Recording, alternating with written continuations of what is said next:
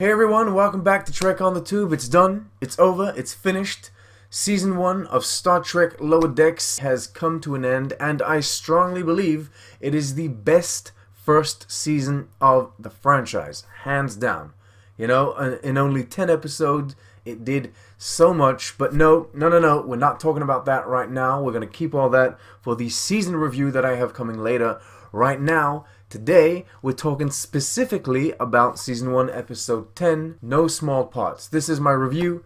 These are the Easter eggs. Let's go. It was a great episode. As usual, like with every other episode we've had, there are those that claim it's the best of the season, and although I don't think I'd go that far because, well, premieres and finales always seem to have a certain hype about them, I will maintain it was a great episode, not only in its own right, but also as a finale to this first season. I particularly enjoyed how the story opened itself up to new possibilities, new dynamics, new situations, by delivering big surprises, but still managed to feel like an end. Of course, the show had already been greenlit for two seasons at launch, but had this been the only season for the show, the final episode would have worked fine as a conclusion, and that's not an easy thing to accomplish. Alright, so doing reviews isn't always easy because balancing the subjective and objective is a peculiar exercise. Sometimes it's harder than others when, for example, a character I enjoyed in another show comes back and they're completely different. On one hand, my personal feelings push all else aside and questions arise. Why did they do this? Why did they make my character say that? What the hell is going on? Oh my god, oh my god, oh my god. On the other hand, it's important to know how to take a step back and look at the decisions that were made in regards to the character based on the context of the new show. Oh hey, turns out it might make sense that this character has grown and changed in such a way. Now this subjective objective balancing act applies to every aspect of every show, but sometimes it's harder to handle than others. With this particular episode, it's... it's not easy at all. Here's the thing. I have been writing amateur Star Trek scripts for a while, and I have been brainstorming new Star Trek show ideas for even longer. I also had personal theories and predictions about Lower Decks itself, and somehow, Mike McMahan, broke into my home and probed my mind during the night because he put both my predictions for his show and my ideas for my own Star Treks all in this same episode. I knew Riker would show up 100%, and he did. I knew Dr. T'Ana had a thing for Shax, and she confirmed it. I desperately wanted a crossover between the animated series and Lower Decks, drawn in their respective art styles, and this counts. It counts. I'm counting it. I don't want to hear it.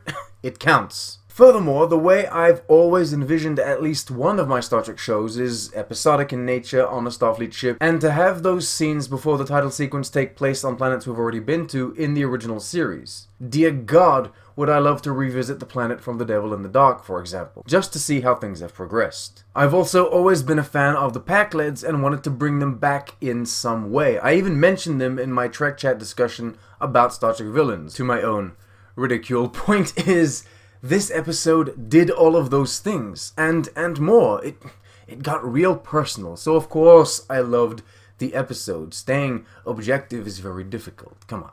Now if I were to truly try and stay objective about it, granted I would be less overtly enthused, but I still maintain the story is solid, and the writing was so good. There was a fantastic use of so many familiar elements. I mean, seriously, they brought back the exocomps and managed to not only enrich the backstory of these little sentient robots, but also present a different angle to the original story in which they were featured. We got, as we just mentioned, a follow-up to an iconic original series episode accompanied by commentary exploring the faults of Starfleet and the Federation, and then Lower Decks, the first Star Trek comedy show took one of the biggest jokes from The Next Generation, arguably the most grown up Star Trek show, and made them into legitimately threatening villains, flipping the whole thing on its head. The joke show took the joke thing from the serious show and made it the serious thing. You gotta love this. And even if you don't, you have to admire the elegance with which all of these feats were accomplished. I mean,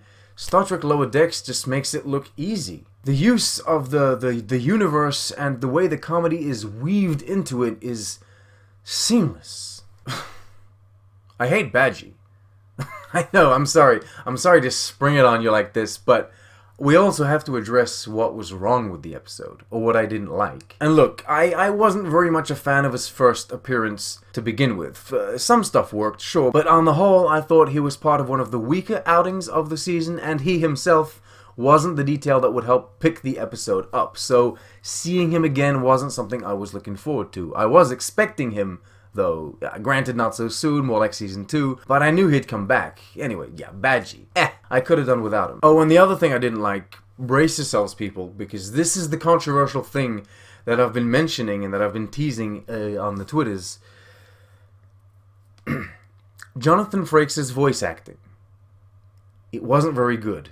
I know, I know. Look, I was overjoyed to see Riker and Troi back in yet another Star Trek show, in animated form no less. I have no problem with that. On the contrary, it was so fun. Jonathan Frakes, however, the man behind the character, I mean, I mean, he's a great actor, don't get me wrong, and he's a wonderful director. He's actually also a terrific voice actor. He's great in Gargoyles, but his performance in this episode specifically was just off. He actively struggled at delivering some of his lines. He said Boimler wrong. Anyway, it didn't ruin the episode and it wasn't outright bad voice acting, I was simply expecting better. Added to the fact it probably contrasts with everyone else's flawless performance, I was disappointed. But that's it for my complaints, because let's face it, everything else was just awesome. The animation, the directing, the score, the action, because yes, No Small Parts was more action-adventure than it was comedy, which is fine in my book. I mean, yeah, everything was solid. Shax died. Boimler left, and Rutherford's memory got wiped. I don't want to get into this too much because most of what I could say about these three big takeaways will need to be addressed in my season review, but the episode was bold and brave to take such big steps and yeah, I wanted to talk about it at least I wanted to at least mention it. I mean, as it stands, until we see where all of this leads, all three of these surprises were flawlessly executed, bittersweet story beats. Actually, no, scratch that. Shax dying and Boimler leaving. Those were flawless. Rutherford losing his memory could have been, I don't know, a bit better. His friends seemed a bit too unaffected for my taste. Still, still very interesting. And, uh, yeah, alright. That's it for the review. A solid episode and a strong finish to an impressive first season. Let's talk Easter eggs and references, starting with that original series tie-in in the beginning. The crew is on Beta 3, explaining to the planet's inhabitants that they are not supposed to be worshipping a sentient computer. All of this has been seen before, as it was kind of explained in the episode. In the original series, in an episode called The Return of the Archons, Kirk and his crew discover that on Beta 3, the inhabitants have come to worship a computer called Landru. Now, it's a completely deranged situation, especially considering the planet has something called the Red Hour, which is essentially a, a, purge. Yes, that's right, like those movies. The whole concept of having a specific moment when all laws are abolished and people can do whatever they want, Star Trek invented it. Suffice to say, Kirk and friends save the day and leave, but apparently, up until now, no one ever checked up on the planet again, and so 100 years later, things have just gone back to how they were before. I, I wouldn't even call this an Easter egg or a reference. This is just brilliant world building, as is this photograph of Kirk and Spock, supposedly taken during the original series episode, but done here in the art style of the animated series. This is all so good. Anyway, when Freeman and Ransom get back to the ship, the captain mentions the Gamesters of Triskelion, which is a callback to another original series episode, and Ransom uses in a very meta joke the acronym TOS when talking about that period in time. TOS in universe is said to mean those old scientists in the mind of Ransom, but of course for us fans it simply means the original series. The Pakleds, villains of this episode, were originally introduced in The Next Generation, and yes, they were as dumb in that show as they were here. They do look very much the same, as do their ships and technology. Before being attacked, the Solvang was patrolling the Kala system, which is an area of space belonging to the Pakleds, also mentioned before in The Next Generation. The Solvang, by the way, is yet another California-class ship named after a California city.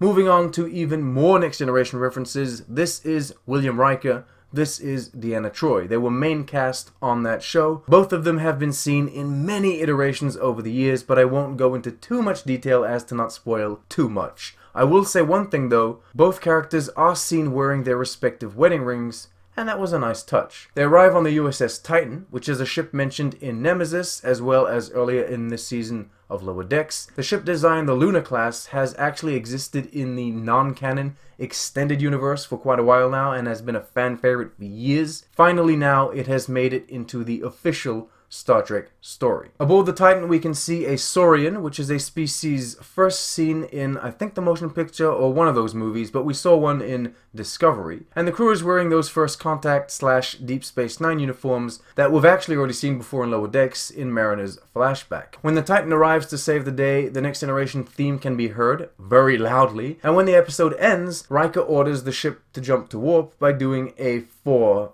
5, 6 bit, which is a reference to his love of jazz. To finish off with Will and Deanna, they both discuss Lil Risa and their Horga'hn because the Titan is off to Tulgana 4. If you recall, Tulgana 4 and Lil Risa were featured earlier in this season of Lower Decks, and the Horga'hn that the couple are talking about are these little statues that the Risian people are so fond of. Oh, let's not forget the Enterprise references, Riker mentions he was in the holodeck watching a recreation of Archer's ship. This, of course, is something that he did in that very show. He also drops a not so subtle, they had a long road getting from there to here, which are an iconic part of the lyrics to Enterprise's main theme. Other Next Generation references include Captain Freeman Day, a callback to Captain Picard Day, Wesley Crusher working with his mom, Wesley and Beverly were main slash recurring characters on that show, Armus, the big sludge thing that kills people, and the exocomps that we talked about earlier. There's also a mention of Wolf 359, which is the name of a battle against the Borg. The same person that mentions Wolf 359 also talks about the Dominion War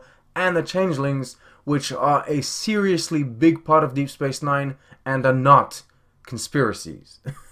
Among the more random Easter eggs, we get a mention of First Contact Day salmon. This is a reference to the events of the movie First Contact, although the celebratory salmon is new. Billups is seen holding this helmet, which is also new to canon, even if it's been a big joke within the Star Trek fandom for years now. It was a toy back in the 70s or, or something. It was sold as a Star Trek toy, but of course had never been featured on the show, so it was completely stupid. Until now. Now it's a serious prop, come on. During that sequence, Ransom pulls out some more Kirk Fu double fist punch moves, referencing Kirk's combat style from the original series. Boimler is seen with a sword, probably referencing the Lower Decks pilot, where Mariner says they're due for a new sword guy, and the final reference, which isn't really one at all, is this captain. She was seen earlier in the season being just as useless as she was here. And, uh, didn't pay off. She died. So did her crew. And that's all of it. So many things to talk about. Oh my god, I'll tell you what, I love Lower Decks, but the references part of each video is so intimidating to write because there's just so much. Anyway, we'll be done for a while. Thank you so much for watching. Please do subscribe, leave a comment, share with the people that you know. Please consider becoming a patron. Like all of these wonderful people, it really helps out the channel and goes a long way.